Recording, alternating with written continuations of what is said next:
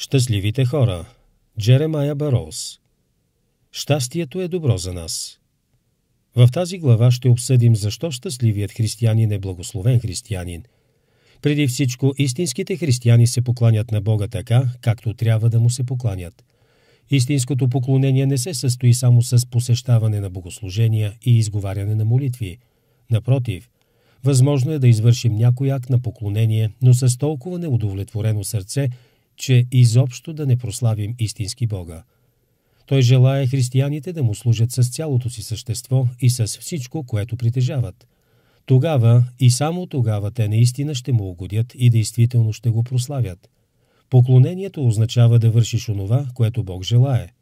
Поклонението означава и да си доволен от това, което Бог дава. Поклонението и щастието вървят ръка за ръка. На второ място, щастливите християни са онези, които най-добре използват дадените им от Бога духовни дарби – вяра, смирение, любов, търпение, мъдрост и надежда.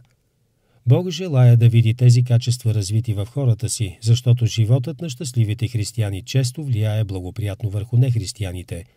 Например, рядко са тези, които страдат без да се оплакват. Християните, които постъпват така, представят едно добро свидетелство и прославят Бога. Следователно, третата особеност, която ще споменем, е, че щастливите християни прославят Бога. Природата прославя Бога, защото Той я е сътворил. И християните, които остават щастливи, въпреки своите изпитания, го прославят, защото Той ги е направил такива.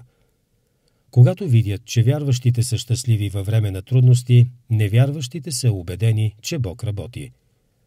Освен това, щастливите християни са онези, към които Бог е по-благосклонен, ако искат Бог да им показва добрината си, те трябва с твърдост да запазят своето щастие. Не бива да се държат като разглезени деца, които викат и реват, докато не получат каквото искат.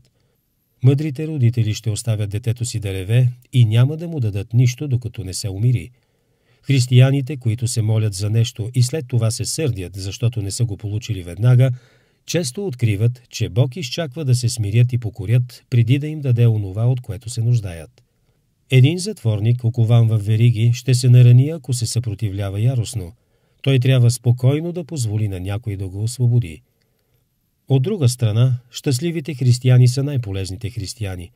Неуравновесените, неспокойните хора не са подходящи за да служат на Бога. Те ще са готови да работят за Него едва след като Той чрез духа си ги е успокоил.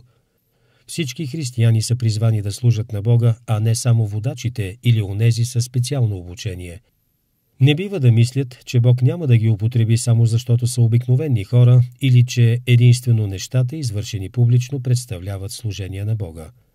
Това, което ги прави подходящи за служение на Бога, е вътрешното духовно удовлетворение. Шесто. Щастливите хора са по-добре подготвени да устоят на изкушенията, а хора, които се оплакват, лесно могат да бъдат заблудени. Дяволът обича, когато християните са разтревожени, и когато се сблъскат със страдания, той прави всичко възможно да ги убеди, че станалото не е справедливо. Тогава те започват да се убеждават, че това не е трябвало да им се случи. Дяволът може да изкуши бедните християни да откраднат или унеправданите християни да потърсят отмъщение. Онези, които са щастливи с това, което Бог изпраща, са предпазени от такива изкушения. И седмо, Щастливите християни са онези, които изцяло се наслаждават на сегашният си живот. Понякога хора, които притежават малко, са по-щастливи от други, които имат много. И това е така, защото са се научили да бъдат доволни от онова, което имат. Точно както един народ, доволен от територията си, е по-щастлив от друг, който непрестанно воюва. И последно, щастливите християни са онези, които очакват наградите, обещани от Бога. Той възнаграждава всеки според постъпките му.